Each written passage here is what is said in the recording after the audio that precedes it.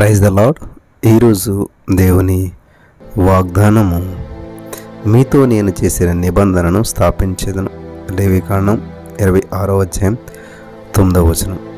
దేవుడు ఖచ్చితంగా ప్రతి వారితో నిబంధన చేసి ఉన్నాడు అన్న విషయం మనకు అందరికీ తెలుసు.